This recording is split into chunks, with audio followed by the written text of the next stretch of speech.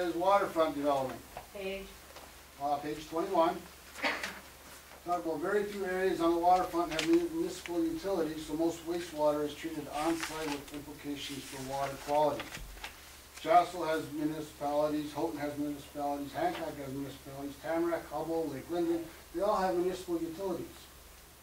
Your report makes it sound like sewage is running off into the canal in Portage Lake, and it's not. They all have wastewater treatment all the way around the Portage Lake. You're painting a picture with your words, it isn't true. Uh, I think the intent of that was to, uh, was to uh, demonstrate that there are a lot of private cottages, private homes that are served by on-site sewage systems. which have been running for years and years and years, and there's no problem. I, I don't think That water, that water evaporates. You know, All you do is ask anybody who knows about septic systems and mound systems, mound systems don't work. are you saying there is a problem or there isn't a problem? I don't understand what There's you're. no problem, I'm saying most of our waterfront is covered by municipal water, wa- When we were wastewater. looking, when we were looking at it, we were looking at Buchat and all those areas. The out there. largest area of water is the municipalities. The largest number of homes. What I'm saying is the pa- picture you're painting with your words, first thing I thought of is, wait a minute, all the way around the lake, so maybe it should be more specific that there are many cottages and homes that are not mm-hmm. I'm cataloging these comments, now this is page twenty-one. Twenty-one, I you're- got, I've got every one of them listed here. Okay, thank you. So that's not, By the way, would it be, you know, to save me the writing, would it be possible I'll just, yeah, I'll, I just send this to you. you to send that? Sure. In fact, you can have this, because I printed it. And I think that, by the way, I- and I think that was, if I'm not mistaken, because I, I, I'm kind of looked through the old town, uh, uh, Yeah. plan, and I think that appeared, that appeared in the, in the other plan too. And, and I don't know that it was meant to be inflammatory, but I understand what you're saying. Yeah. You know, one of the things that this gentleman is bringing up here is the dialogue. Who wrote the dialogue? That Was this put together by you people?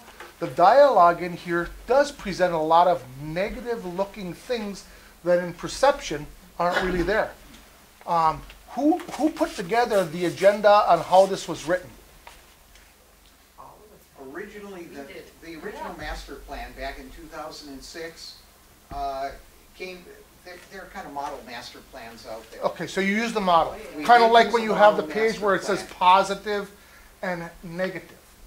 So positive is what and neg, you know, it's like, uh, on one page you have in here how the negative things we have to deal with with winter. I mean, why is that negative? That's what we have to deal with, it's not negative. Well, if you read through, if you read through that section. I read the whole thing, don't say if you, as I read through it, what, help me? When I read through the section on winter, what I take out of it is that uh, we basically are saying, in this particular area of the US, winter is one of our prime features. And that section in the land use Never seen that in there, prime features, I never seen that in there. in that section in the land use plan actually takes pains to say first, some people view it as a negative. But here are the things we think are wonderful about winter.